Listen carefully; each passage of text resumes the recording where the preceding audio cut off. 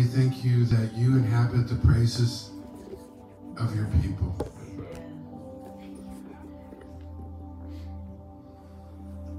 Lord, we acknowledge where would we be without your grace today? Lord, we, we, we lay down our crowns right here because you're worthy to be praised. Lord, we, we don't want to have any unhealthy ego or unhealthy pride.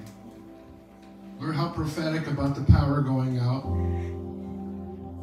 And I'm reminded to have a family member be blowing their hair, using a hair dryer to blow their hair, and an outlet goes out, and then downstairs goes out, or upstairs goes out, and you're at the breaker, at the panel where the breakers are out, and you're trying, you're flipping everything, and nothing is happening. Only to go to the point of where it blew and press that little mini reset button that you can never get your finger just right. And you click on that thing and the power is reset. And I believe that the Lord is going right where you blew it at. That last area where you were disobedient, you know you were supposed to go left, but you went right, or you, God says, go this way, and you went with the crowd. Either way, He's pressing that reset button. The power is, has been reset this weekend. He's worthy to be praised. Yes. The manifestation is going to come.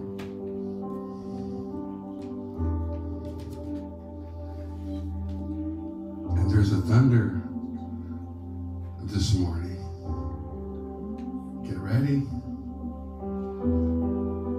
This is not Linda and I as a worship team. We are all the worship team. You are just as strong as part as what we're releasing your expression, your voice. You all know this. I'm just reminding you. You're free to be you. And if you can only do this, maybe add this to it. You know?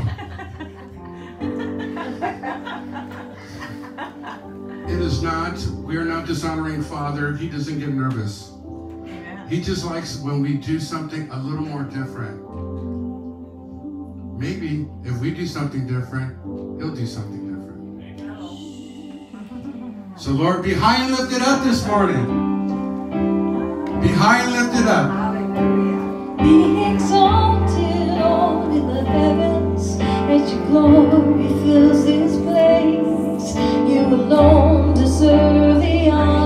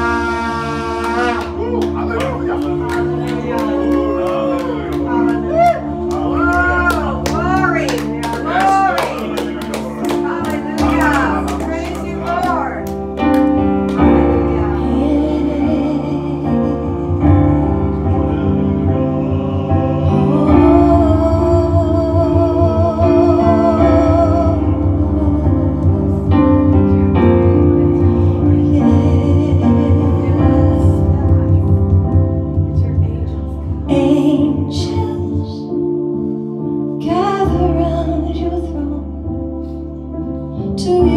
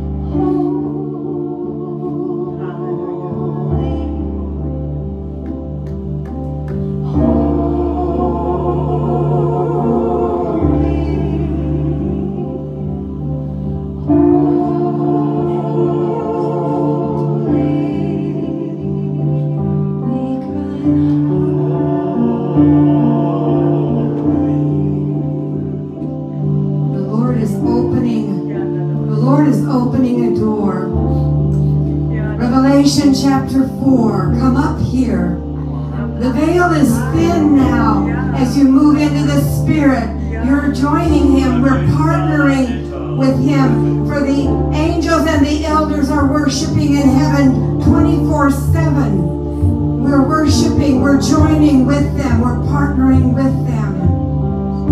And when Mando did the drum roll, I felt like that was the Lord saying, I must be heard on earth. I must bring my body into agreement, into unity. I need you to be my body on earth. I need you to be my voice. And we come into this holy place and into the realm of his glory and he begins to reveal his heart, his father's heart.